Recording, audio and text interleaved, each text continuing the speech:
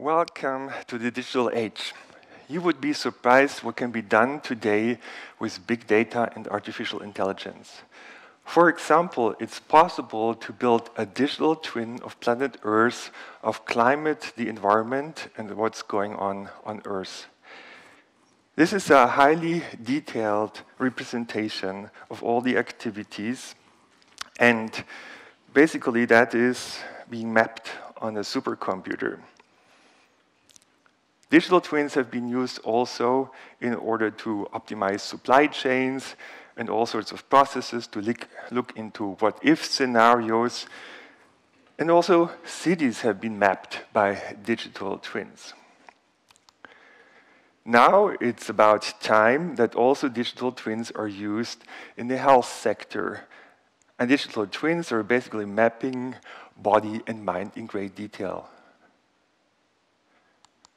The question is, how far should we go? Talking about smart cities, city life has been under a microscope already for some time. But should we put you under the microscope? In fact, this is what the NSA has been doing for quite some years now. We've learned about this from Edward Snowden back in 2013. And many of you have said at that time, I have nothing to hide. Really? And is that even the point? Did you know, for example, that it is possible to find you through somebody else's digital device? Where you are, what you say, can be translated in real time in other languages, can be searched for keywords, and this is not all. As you've learned from CIA Director Gus Hunt back in 2013, you're already a walking sensor platform. It is really very nearly within our grasp to be able to compute on all human-generated information. What information is this? It's coming, for example, from your smartphones. Your smartphone has a lot of sensors in it, and that can collect a lot of data that can be shared with tech companies and with secret services. With all this data, you're being profiled, all of you, in very great detail. In fact, those profiles contain information about where you live and where you work, what your income is, who your friends are, your family members, what your health situation is, even your personality, what you think and what you feel, all of this is being mapped by companies and actors you don't even know. Some people have suggested, well, this could be used actually to improve democracy. Do we need politicians at all? When a supercomputer knows everything about us, including what we think and feel and what we want, couldn't a supercomputer, an AI system, do a much better job? Well, perhaps we should think twice before we implement a post-voting society. Because what if your digital twin does not represent your opinions well? What if the data is manipulated or hacked? What if you change your mind? Would you still be listened to? Or would they listen to your digital twin instead? And are they really concerned about your opinions and democratic representation, or rather about making you do what they want? In fact, I want to tell you about a project. It's called Sentient World Project, and it's run by the military together with Fortune 500 companies. This is a giant computer simulation of everything that happens on Earth. It includes your digital twins, all of your digital twins. It's being used for war games, for war preparation, for executing wars, and also for performing psychological operations, so-called psyops, on a mass scale. Tristan Harris, who's worked in a Google control room, has informed us that a handful of tech companies today already control billions of minds every day, including yours. And how does that work? Well, you should know actually because of the Cambridge Analytica scandal. And also because of movies such as The Social Dilemma. Basically, all this data that's being collected through your social media activity, but also all the other data is being used to get a better and better picture of you, how you think and feel, how your mind works, what your, your strengths and weaknesses. And this is being used to personalize information and manipulate you and that has been done, for example, during the Brexit vote, has been done for many years in more than 60 democratic countries. We saw there were democratic elections. In fact, all of that had been manipulated. And the tool is called propaganda. Also, by the way, public relations goes back to people like Edward Bernays, has been instrumental for World War I, for Hitler's Third Reich, for World War II, and many other bread events. Now, these methods have been perfected, have been personalized. They basically can manipulate you without you even noticing. With weaponized propaganda AI that knows you better than you know yourself, these systems can manipulate you better than your friends. And so, Warfating today is about behavioral change, and this is happening 24 7 every day. These methods are highly effective. The military methods can be also at times relentless and even brutal. So now you know who is messing with your digital twin. It's big tech companies, it's also, by the way, advertisement companies, and it's the military. And when they're messing with your digital twin, basically, they're trying to mess with you. They're playing something like robot chess with you. They're playing with you. They're making you do certain kind of things. And how do they do this?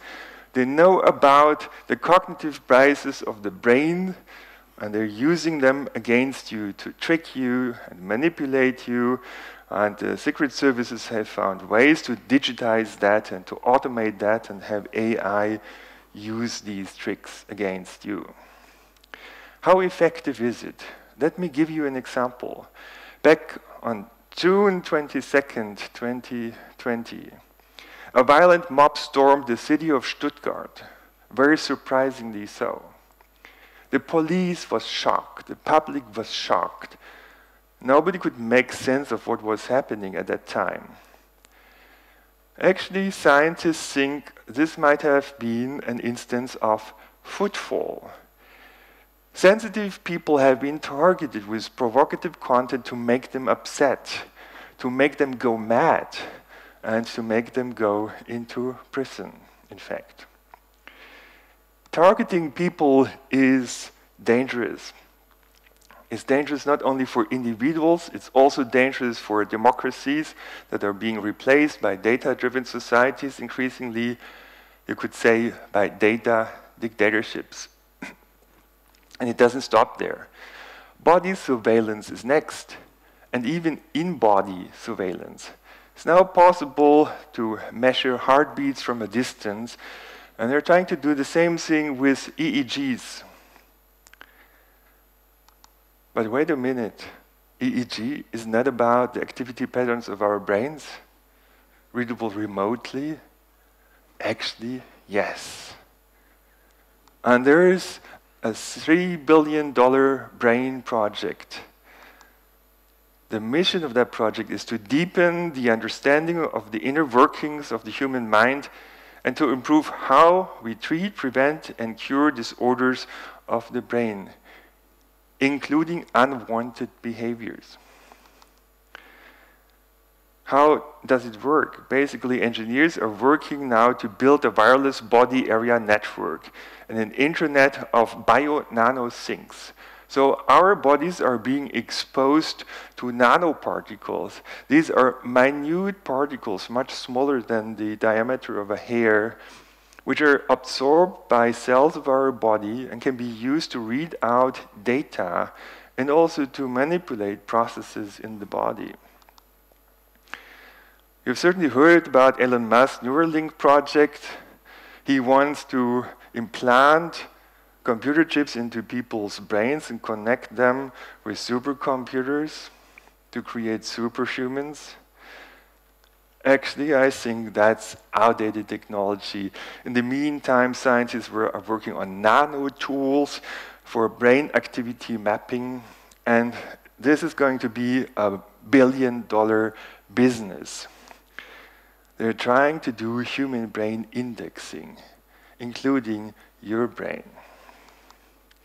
And why are they doing it? Because surveillance capitalism knows where you are, what you do, what you think, what you buy. But they want to be able to control what you think, what you feel, what you do, how you behave. And this is what neurocapitalism would be about. So we are heading towards brain reading technology. We are heading towards mind control, and the law is not ready to protect us. If you want to get an idea how far that could go, then you could read that science fiction novel with a trillion sensors feeding data into a central computer unleashed into the world, governments, militaries, mega corporations, dictators, and even hackers will be able to hear the heartbeat of the earth. And your heartbeat too. Already, companies are starting to exploit our most intimate data. Our health data is being stolen. Stealing this kind of data can be used to heal and to kill. So is our body now being militarized? Is it going to be part of the global battlefield, controlled remotely, digitally? Well, we need to be cautious. The World Economic Forum has informed us back in 2020, tracking how our bodies work could change our lives. Well, of course. And they also told us the Internet of Bodies is already here.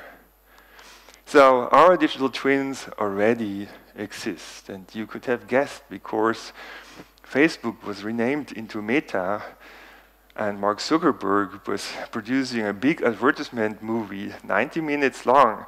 What do you think? Was Mark Zuckerberg actually speaking to you himself, or was it his avatar? For sure, digital twins need ethics and rights. And that became obvious right in the beginning when the metaverse was launched. People started immediately to abuse other people's digital twins. So measures had been taken to restore human dignity and safety.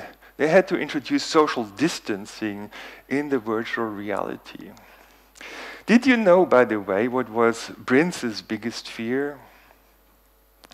Well, long before holograms existed, he said that whole virtual reality thing, it really is demonic. And why did he say that? Because Michael Jackson had died a couple of years earlier, back in 2009. And five years after that, he virtually stepped out of his grave to give a live performance and present a new song called Slave to the Rhythm in that song, the missionary of peace and love, Michael Jackson, was basically turned into a dark overload promoting technological totalitarianism. Such things should not be allowed to happen. We need to be in control of the data making up our digital twins. And we need a platform for informational self-determination. Perhaps the Web 3.0 could save us. We'll have to see.